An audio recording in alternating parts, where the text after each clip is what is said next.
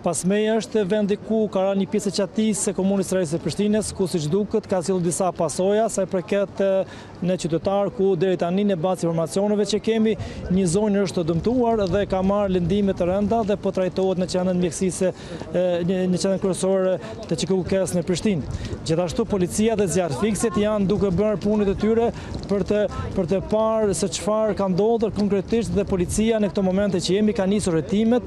për të parë dhe pasojat e cilat të cilat e kanë shkaktuar këtë dëmtim të pjesës së sipërme të çatisë së komunës së Prishtinës, edhe për faktin se kjo është njëra prej objekteve të reja ku komuna e Prishtinës e ka të ndarë punën e tyre në të dy hapësira, hapësira e vjetër dhe hapësira e re, dhe deri në këto momente